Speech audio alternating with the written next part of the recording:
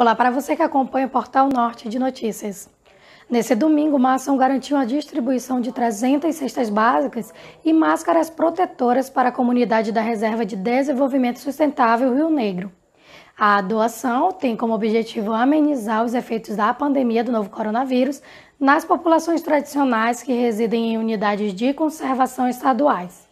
A arrecadação de alimentos faz parte da campanha solidária promovida pela Ação Social das Comunidades Sustentáveis da RDS Rio Negro, em parceria com a Secretaria de Estado do Meio Ambiente e a Escola Nossa Senhora das Graças, localizada em São Paulo. Esta é a primeira etapa de entrega de cestas básicas aos moradores ribeirinhos. Ao todo, 10 comunidades foram beneficiadas pelas doações de alimentos máscaras e também cartazes informativos sobre o novo coronavírus. Eu sou Raline Pontes, do Portal Norte de Notícias.